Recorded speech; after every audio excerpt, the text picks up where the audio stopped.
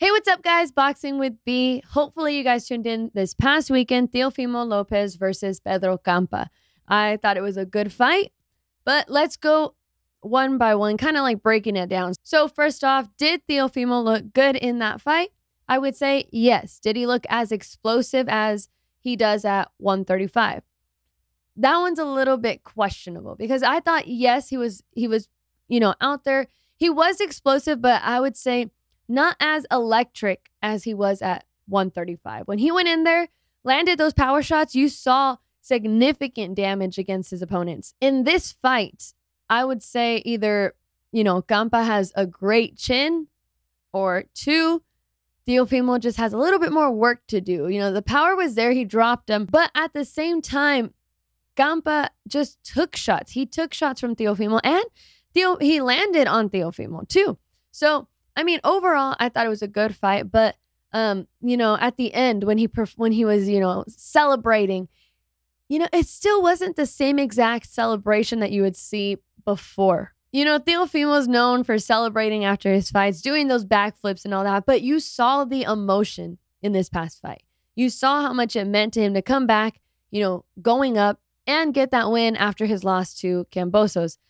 Um, as far as calling out the top guys in the division, I would say hold a little bit. Just wait a second. Before you go on and take guys like Chon Zepeda, I would take maybe another tune up fight before you get anyone else like that because these guys at 140 have been there. They've been taking these big shots from 140 from 140 guys. And you know, you're new to this division, might as well get a little more adjusted. You know, get work out all the flaws still, you know. Like for example, in this fight with Pedro Campa, what could have been going through Teofimo's head after landing huge shots repeatedly on um on Campa and Campa didn't go down. Maybe for one split second, Teofimo could have been like, do I still have that power? Am I to drop this guy? I'm throwing everything I have and he's still right here in front of me. So, Teofimo, I thought it was a good, you know, good performance, but at the same time,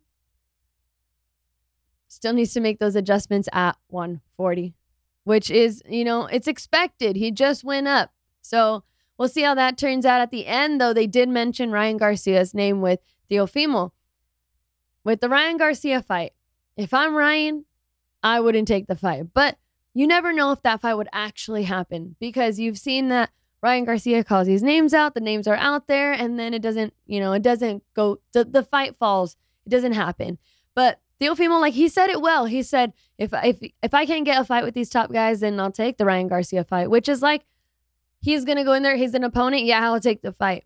If that fight did happen, number one, Ryan Garcia would have to go to the drawing board, you know, stop putting his chin up in the air like that, use that defense more, work on the footwork, basically work on all of the flaws that he still has. Because he's fighting, he would be fighting a guy that's explosive, they're both basically on the same level of going from 135 to 140.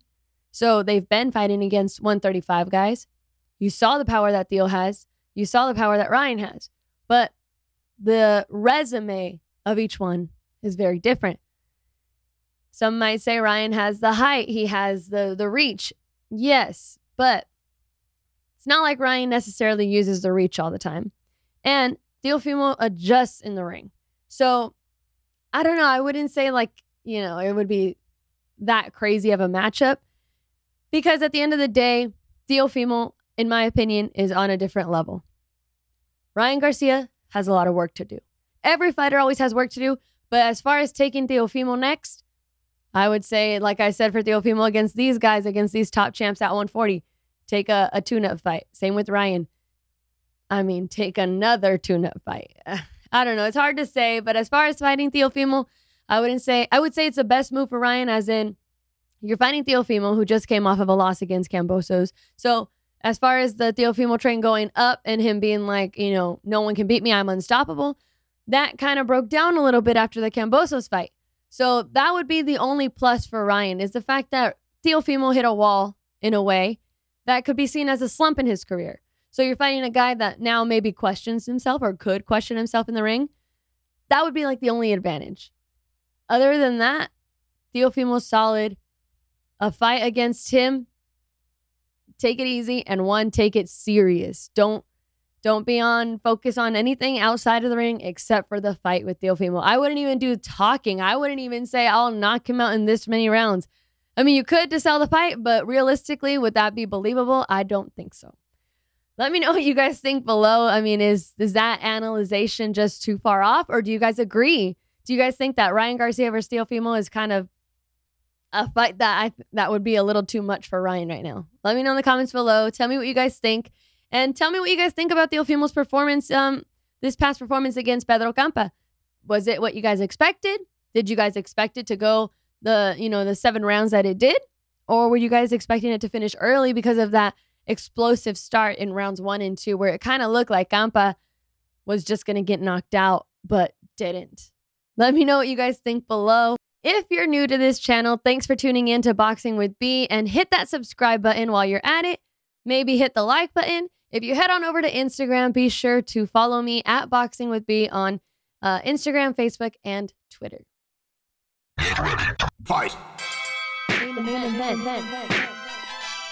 Breaking, breaking news, breaking news. This is the guy that's going to give him the biggest fight. And then guess what? Boxing fight. fight.